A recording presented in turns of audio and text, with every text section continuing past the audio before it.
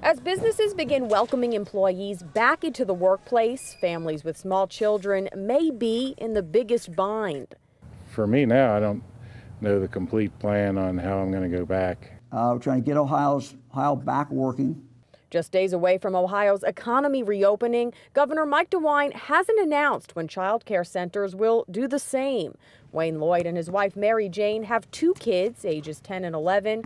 Although they've adjusted their work schedules for now, they say that plan won't last forever and feel for other families struggling. I could see it being a really huge problem. To get back to their jobs while making sure their children are taken care of. Kids are just germ magnets. Same with, you know, that's why they're not opening the schools. You can't keep them separate.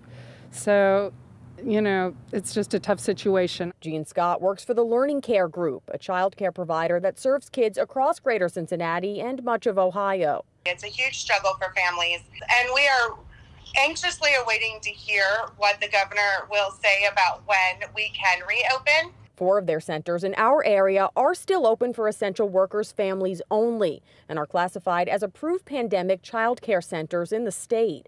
In those locations, Scott says staff members are social distancing with families during drop off, wearing masks, doing temperature checks, and practicing sanitation throughout the day.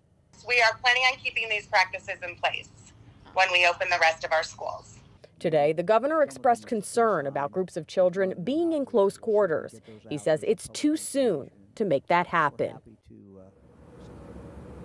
Now, Governor DeWine also called this a work in progress. He says he understands people need to get back to work, but they also need child care in order to do that. But again, this is just not the right time. Reporting live tonight, Helena Battipaglia, WLWT News 5.